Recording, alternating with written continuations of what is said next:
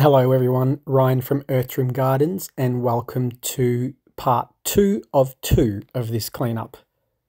A bunch of you may have noticed that on Wednesday, just gone, George from Quick Cuts actually uploaded a video of mine um, that he edited himself. I actually reached out to him a few weeks ago to see if there was anything that he could do to help me grow the channel, and he basically offered to do the edits for me, um, put it up on his channel, and give my channel a little bit of a plug at the same time. And because of that, I gained an extra 1,500 subscribers in the space of about 24 hours. So, George, I don't know if you watch any other videos of other gardeners. You probably don't have the time. But in case you are watching this, thank you very much for all your help. Greatly appreciate it.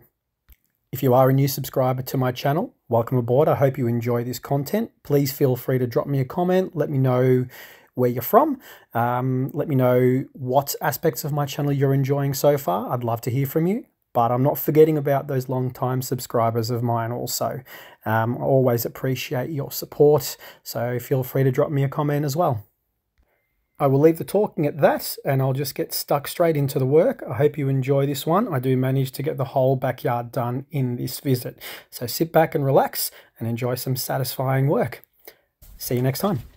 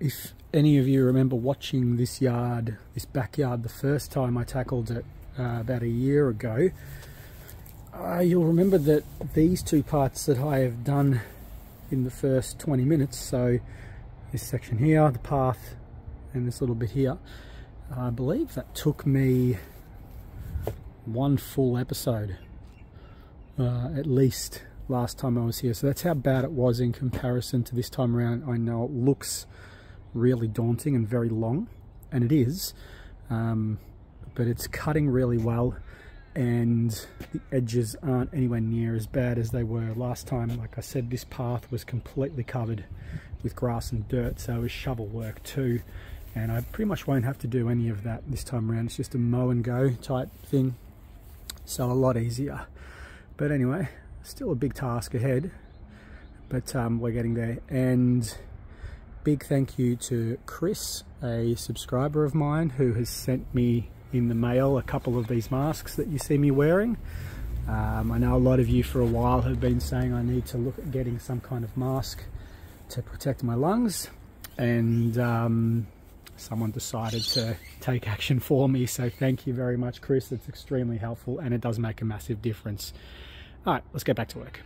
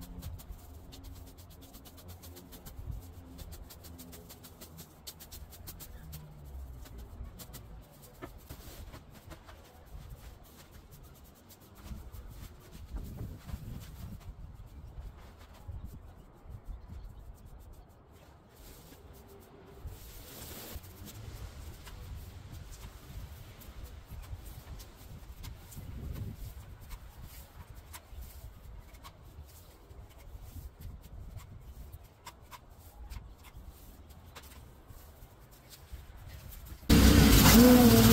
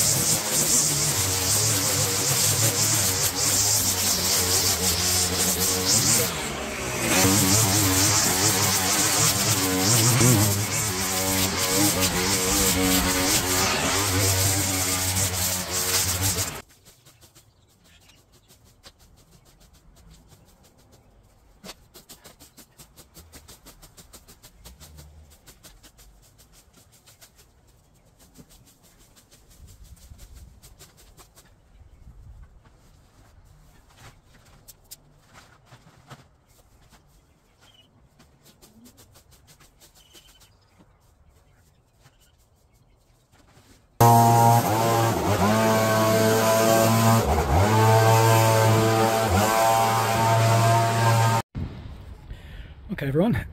that is the backyard complete and this project over. Now I did mow a second time off camera. I dropped the deck one notch lower, um, not a great deal, but it gave me the ability to just tidy the grass up a little bit more, make it a bit more even, and also pick up anything that I missed with the rake. There is still a bit left on the ground. It isn't going to thatch or anything. Um, it will it'll be fine in springtime. I did manage to pick up most of it. Um, yeah, patio is now usable once again, and so is the entire backyard for that fact.